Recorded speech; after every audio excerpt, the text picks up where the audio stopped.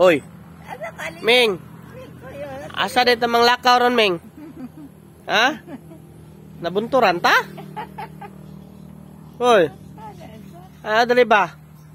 Saan dito mang lakaw, day? Hmm, viral na baya ka dito sa, pis, ah, sa YouTube.